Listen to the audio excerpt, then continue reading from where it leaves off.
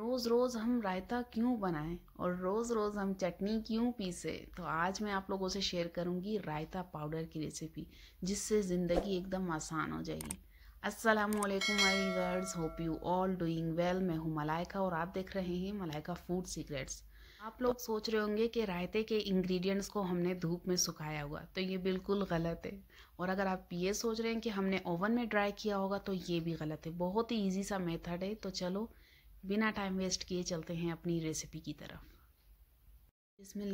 रहीम तो यहाँ पे सबसे पहले हम ले लेंगे धनिया और रायता पाउडर बनाने से पहले ही आपके ध्यान में रहना चाहिए कि जितने भी इंग्रेडिएंट्स हम यूज़ कर रहे हैं, वो सारी की सारी ड्राई होनी चाहिए। तो यहाँ पे जो धनिया है, इसको पहले ही मैंने धो लिया था और ड्राई कर लिया था और अब हम इसको छोटे से नॉर्मल साइज़ में कट कर लेंगे और ले लेंगे यहाँ पे पुदीने की पत्तियाँ ढेर सारी। अब इसको भी हम नॉर्मल साइज़ में कट कर लेंगे। और चलते हैं तीसरे इंग्रेडिएंट की तरफ़। तो यहाँ पे ले लेंगे हरी मिर्चें।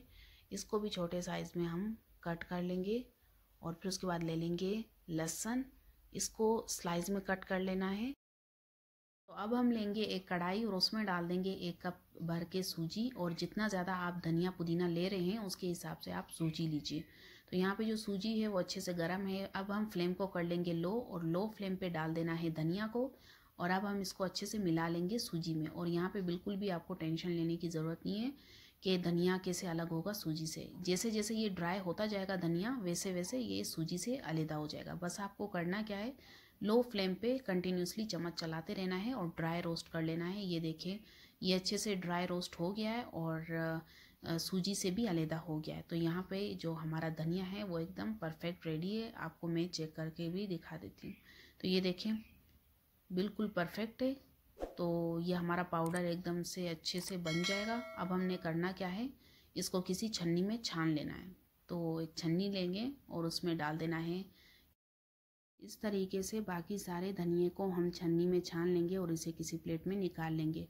अब हम उसी सूजी में डालेंगे पुदीने को और फ्लेम हमने लो ही रखना है। लो फ्लेम पे कंटिन्यूसली चम्मच चलाते रहना है और इसको भी हम अच्छे से ड्राई रोस्ट कर लेंगे।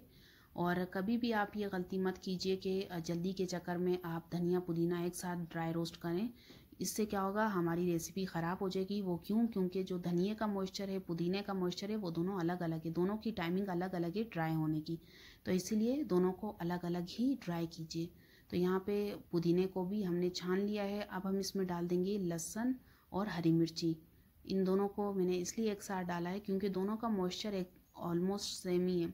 तो इसीलिए अब हम इसको डाल के अच्छे से इसको ड्राई रोस्ट कर लेंगे। तो यहाँ पे जो हमारी हरी मिर्ची और लहसन है, वो अच्छे से ड्राई हो गई है। अब मैं आपको चेक करके भी दिखा देती हूँ। ये देखें हरी मिर्ची और यहाँ पे लहसन भी हमारा परफेक्ट है पाउडर बनने के लिए।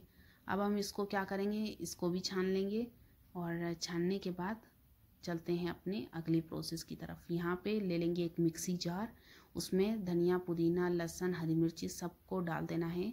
मिक्सी जार में और उसमें डाल देंगे टेस्ट के अकॉर्डिंग थोड़ा सा नमक।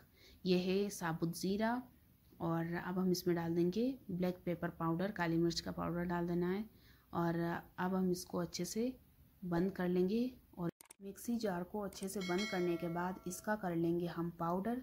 तो यहाँ पे जो हमारा रायता पाउडर है वो परफेक्ट रेडी है और इसमें ज़्यादा टाइम वेस्ट भी नहीं हुआ है हमारा। क्योंकि अगर हम धूप में सुखाने जाएँ, पुदीना, धनिया, हरी मिर्ची को तो उसमें एक से दो हफ़्ते लग जाते हैं। और अगर हम ओवन में करने जाएँ तो उसमें भी अच्छा खासा टाइम वेस्ट हो जाता है। और जो तरीका मैंने आपको बताया है, वो हर कोई अपने घर पे आसानी के साथ बना सकता है। आधे घंटे का काम है और उसके बाद सालों तक आप इसे यूज़ कर सकते हैं। और बस यहाँ पे मैंने लिया है दही और दही में डाल देना है थोड़ा सा ये रायता पाउडर और अच्छे से मिक्स कर लेना है और इसे इंजॉय करें अपने स्नैक्स के साथ। वीडियो में कुछ भी अच्छी चीज़ सीखने को मिली हो तो सब्सक्राइब कर दें और अपने प्यारों के साथ शेयर करना मत भूलें ताकि वो भी इसी तरीके से बनाएँ और आराम से रहें। और लाइक करें कमेंट करें शेयर करें। अल्लाह हाफिज़।